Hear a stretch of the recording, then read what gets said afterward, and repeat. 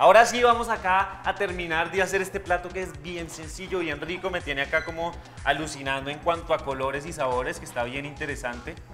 Vean la remolacha cómo va. Le voy a dejar otro poquito ahí que se me cocine. Vamos a dejarla, corté unos chips bien delgaditos, pero acuérdense que ya necesita bastante cocción. Voy a subir un poquitín al fuego, aunque está perfecto. Y entonces, ¿qué vamos a hacer? Vean por aquí lo que tengo. Tengo la mayonesa. Al comienzo les dije que íbamos a hacer una salsa con mayonesa que realmente para mí es espectacular y es muy sencilla. Vean, entonces, ¿qué voy a hacer? Por aquí tengo miel que le voy a poner. Perfecto. Le pongo aproximadamente, eh, no sé, como, como un 75% con respecto a la mayonesa. Perfecto. Y por acá tengo limón, que le voy a poner bastante limón. ¿Esto qué va a hacer? ¿Qué va a hacer? Que lo tienen que probar en su casa y ustedes lo tienen que hacer para que puedan darse cuenta de estos productos tan del diario eh, juntos que a veces ni siquiera nos, nos, damos cuenta que podríamos unir o los tenemos ahí al lado y no se nos ocurre nada. Ustedes prueban esto y es un espectáculo. Lo voy a poner acá para hacer las cosas más cómodas. Hay que batirlo muy bien. Uy, pero esto es un espectáculo. Es muy, muy rica.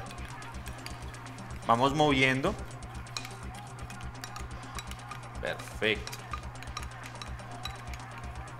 Esta va a ser, esto es, esto es como un dip. La idea de esto que es que con la remolacha ustedes cogen acá, lo prueban y nada, es una delicia. También pueden mojar el sándwich o algo así. Hay un equilibrio perfecto entre la cremosidad de la mayonesa, el dulce y también la, como la untuosidad que nos da la miel y la acidez que contrasta todos esos sabores del limón. Perfecto. Ahí vamos moviendo, vean la textura con la que queda.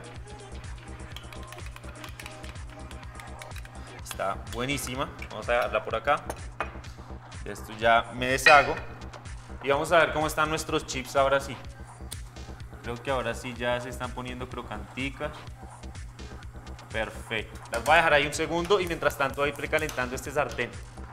¿Qué es lo último que me hace falta ya para terminar de redondear esta receta? Un buen pan. Ustedes pueden tener para este tipo de recetas un pan tal vez de dos días, de tres días, un pancito más viejo que nos, da como una consistencia interesante. Entonces simplemente la idea es que sea un buen pan, que tenga una costra eh, gruesa, y vean esta delicia de pan que tengo hoy acá, por Dios. Tengo con una costra gruesa, pero con una miga extremadamente suave. Vean la blanca, deliciosa. Entonces, vamos a cortar. Acuérdense siempre que, cortan un pan, eh, una torta, lo que sea. La idea es coger un cuchillo que permita ir cortando y que no, que no machaque la miga, que es bien importante. Entonces, ok, vean esto que tengo acá. Un pan delicioso se me empiezan siempre a venir una cantidad de cosas a la cabeza impresionantes. Por ejemplo, ese pancito, eh, no sé, con un poco de tomate, coger el tomate y espichárselo así, tostarlo con un poco de aceite de oliva, queda espectacular. Entonces, voy a poner el pan para generarle un poquito de crocancia. Le voy a poner un poquitico de aceite de oliva.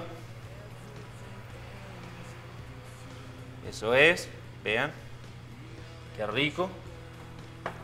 Vamos a poner acá una pizca de sal a los tomaticos.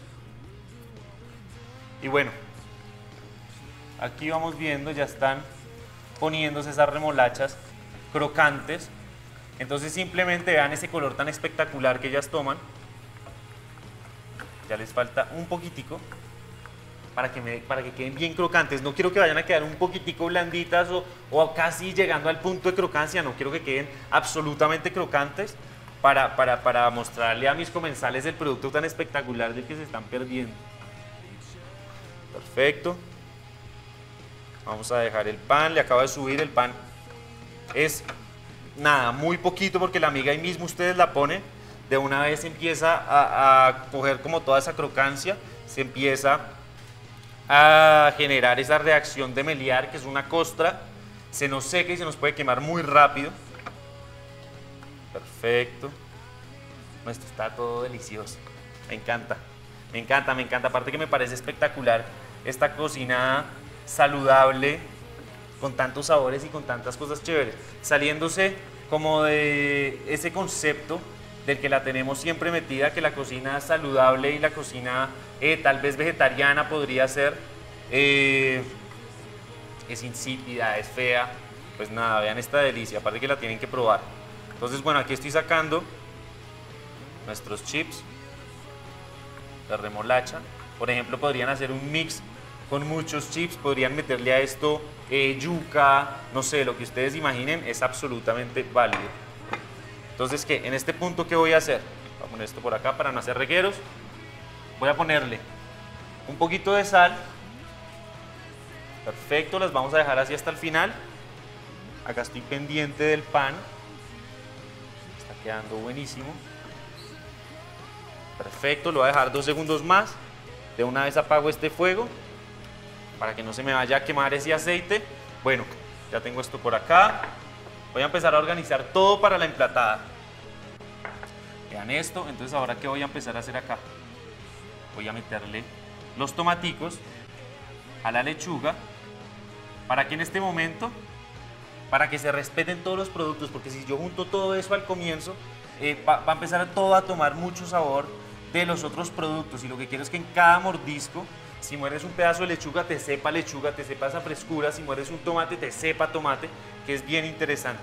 Entonces, bueno, ya simplemente es esperar a que este pan se me dore un poquitico, véanlo, como se está empezando a poner ya crocante. Y ya, simplemente es esperar esto y vamos a montar. Entonces, mientras yo termino acá de organizarme, ustedes van a ir al recuento de la receta y ya volvemos. Para el tofu, cortar y asar. Al final, agregar un poco de salsa soya y reservar. Para la lechuga, cortar y marinar con aceite de oliva y vinagre balsámico. Al final, agregar los tomates cherry. Para el guacamole, procesar el aguacate. Para las chips de remolacha, filetear la remolacha muy delgada, llevar a fritura hasta que esté completamente crocante para la salsa de la remolacha, agregar en un recipiente la mayonesa, el limón y la miel, mezclar y reservar. Al final, simplemente cortar el pan y tostar por todos sus lados con un poco de aceite de oliva. Bueno, vamos a emplatar esto. Entonces, van a ver lo bonito que queda. Simplemente tengo un plato cuadrado, largo. Vean el pan como está, está absolutamente crocante, delicioso. Entonces, ¿qué voy a hacer? Va a ser bien sencillo. Por acá tengo el guacamole. Entonces, ¿qué voy a hacer? Simplemente voy a poner una base. Voy a esto por acá para que ustedes puedan ver. Vamos a poner una base del guacamole que me va a dar mucha cremosidad. Aparte que este aguacate está espectacular. Para los que les gusta el aguacate, eso es increíble. Voy a ponerle a este, no le había puesto un poco de sal. Parece que es bien importante que cada mordisco tenga mucho sabor. No es chévere que se lleven este guacamole que está delicioso, el aguacate y toda su textura a la boca. Y cuando lo tienen en la boca, sí, obvio, el aguacate está delicioso, pero pues le faltó como ese, ese, ese realce de la sal que es bien importante. Entonces, porfa, nunca se les olvide. Acá, ¿qué voy a hacer? Voy a poner poco de la ensalada. La delicia.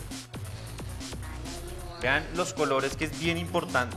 Cuando les hablaba un poquito de la picardía y todo este cuento en la cocina. Entonces, aquí tengo el tofu.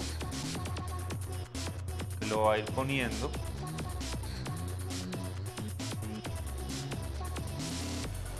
Eso es.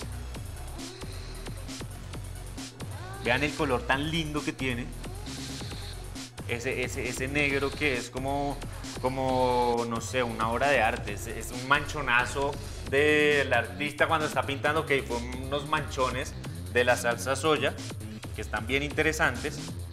Entonces, bueno, aquí que simplemente voy a hacer, voy a poner un poco más del guacamole. Voy a ponerle ahora un poco más de la ensalada. Eso es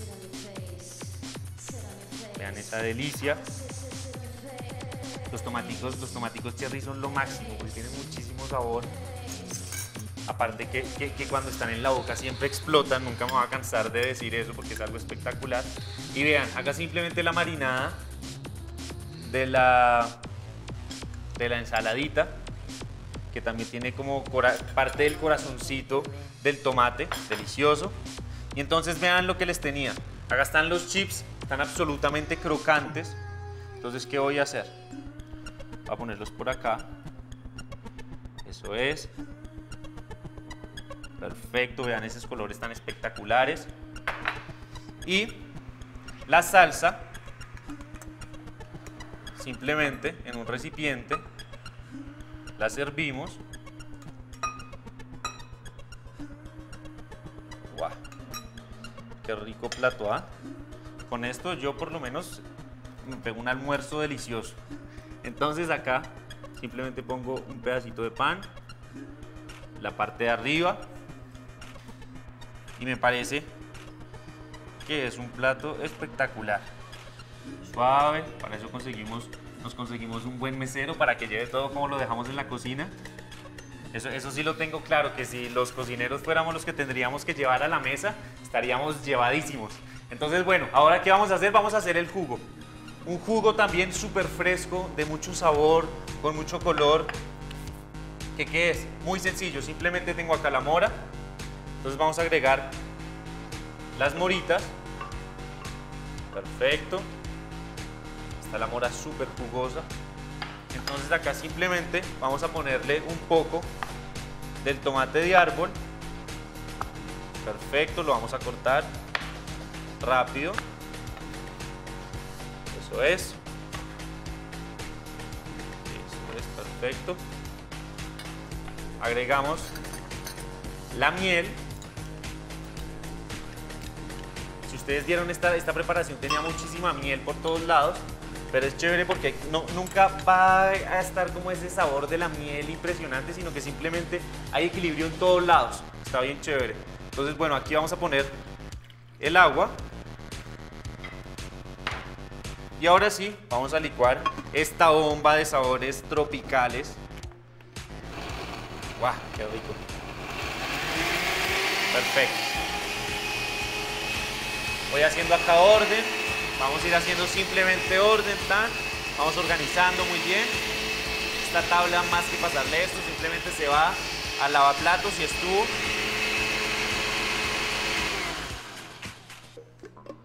Eso es. Vean, súper sencillo, simplemente un jugo espectacular. Vean ese color. Uy, absolutamente cremoso. A mí me encanta eh, nunca colar los jugos, sino dejarlos como con esas texturas ricas.